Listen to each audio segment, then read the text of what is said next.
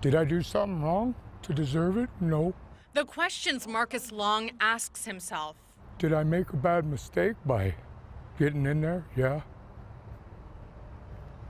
Is it my fault? Yeah.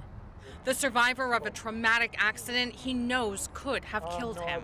It started when Long took shelter from the wind in a dumpster near Reno and MacArthur. And I looked around and I go, all right, well, I'm freezing. He fell asleep but woke with a shock as the claws of a dump truck slammed into the container. And I was yelling for my life. Stop, stop, I whistled. Moments later, dumped 10 feet into the truck, injured and unable to escape. I stand up and I'm literally trying to crawl out of his truck. And I, you know, jump in, it's convexed.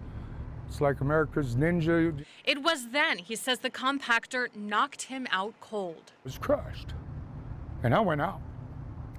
I don't remember a thing.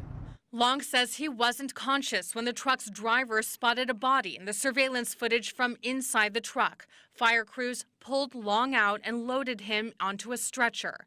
He woke up to doctors explaining he has four broken ribs, a punctured lung, destroyed scapula, and numerous other injuries he must now contend with. A long road to recovery ahead. I might be put in a situation where I'm homeless, you know, for a minute. But don't look at me like I'm one. Long holding on to his faith. I know I walk with God and He walks with me. I know that for a fact. Because that should have, by rights, ended my life.